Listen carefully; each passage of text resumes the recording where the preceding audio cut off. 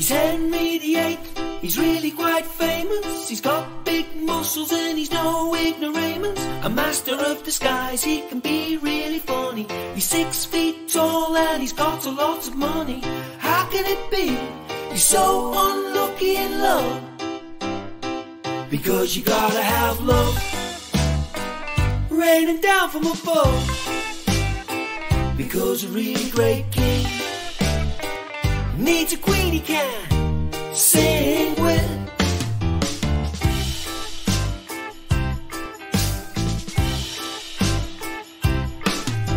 He smells pretty good, he dresses really snappy. He's got everything to make the queen really happy. He'll keep her really warm, he'll never let her shiver. They call me the postman cause I always deliver. How can it be?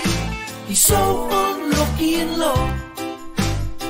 Because you gotta have love raining down from above. Behind every great king is a queen he can